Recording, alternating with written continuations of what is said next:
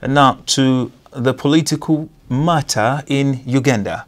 The death toll from Wednesday's protest against the arrest of Ugandan presidential candidate Robert Kyagulanyi, known as Bobi Wine, has risen to seven, police say.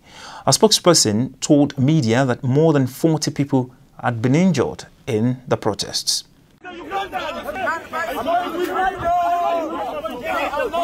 Police have still not explained the cause of the deaths or the nature of the injuries. Graphic videos and photos shared on social media showed several people lying in the streets covered in blood, allegedly shot dead. A Uganda Red Cross statement said that their frontline workers had assisted 11 people with gunshot wounds. Meanwhile, opposition presidential candidates have suspended their campaigns, calling for fellow contestants to be released. Retired Army Generals Mugisha Muntu and Henry Tumukunde also demanded the police stop violence against candidates and the public. Campaign events for several opposition candidates have been broken up or blocked by the police. Bobi Wine was arrested at the campaign rally in the east of the country on Wednesday. The police bundled the police bundled him into a van claiming that he had drawn a crowd larger than 200 people recommended by electoral commission. His lawyers say that he has yet to be charged.